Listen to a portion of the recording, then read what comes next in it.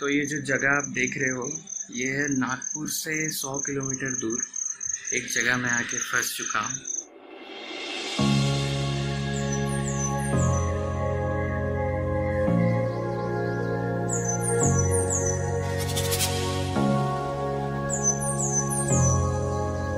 तो लगभग साढ़े तीन महीनों में पुणे में लॉकडाउन में फंसा हुआ था तो अब तो घर वापस जाना ही पड़ेगा, क्योंकि खाने पीने का भी बहुत प्रॉब्लम हो रहा था। तो फाइनली मैंने डिसाइड किया कि वाया रोड में ट्रैवल करूँगा पुणे से उड़ीसा ट्रैवल की शुरुआत बहुत अच्छी रही हमारी। आराम से हम नागपुर से 100 किलोमीटर दूर तक आ ही गए थे। हमारी गाड़ी जंगलों के बीच से होके आती रही।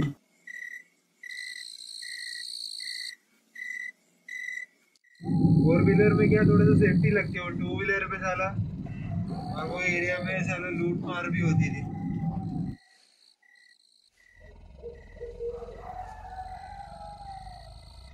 उसी दौरान अचानक से कोई एक चीज़ हमारे गाड़ी के सामने आती है।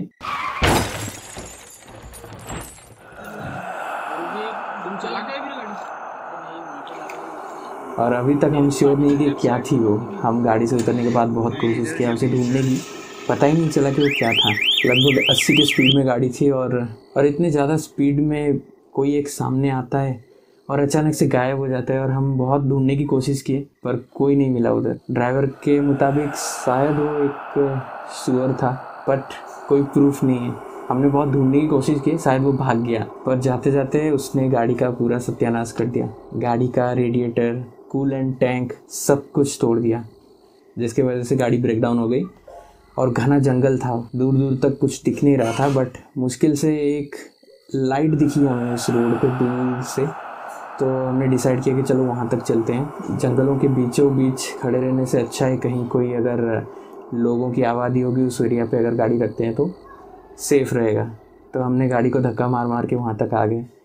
फिर नागपुर, जो कि सौ किलोमीटर दूर था वहाँ से तो हम, हमारे ड्राइवर साहब ने उनके दूसरे बंदों को वहाँ से कॉल करके बुलाया।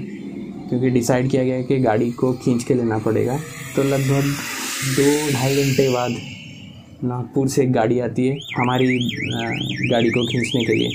तो कुछ इस तरह से ऑलमोस्ट रात के 11 बजे जब हमारा ब्रेकडाउन हुआ तो हमें 100 किलोमीटर कवर करने के लिए लगभग छः घंटे लग गए। और अगले दिन जब गाड़ी को गैरेज में डाला गया रिपेयर के लिए तो उसके बॉडी पार्ट्स वगैरह कुछ मिल नहीं रहे थे तो उसको ढूंढते ढूंढते लगभग 12 घंटे गुजर गए। तो और मैं नागपुर में लगभग 12 घंटे पड़ा रहा। फिर अगले दिन इवनिंग साढ़े सात बजे हम लोग नागपुर से निकले रौरकेला के लिए। वो कहते हैं ना, जैसे हर अंधेरे के बाद सुबह आती है।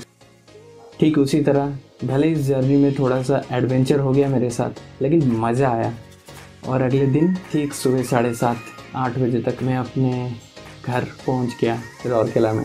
और घर आते ही सबसे पहला काम जो पापा ने किया, मेरे सारे हेयर कट करा दिए, सारे लंबे बाल मेरे गायब हो गए।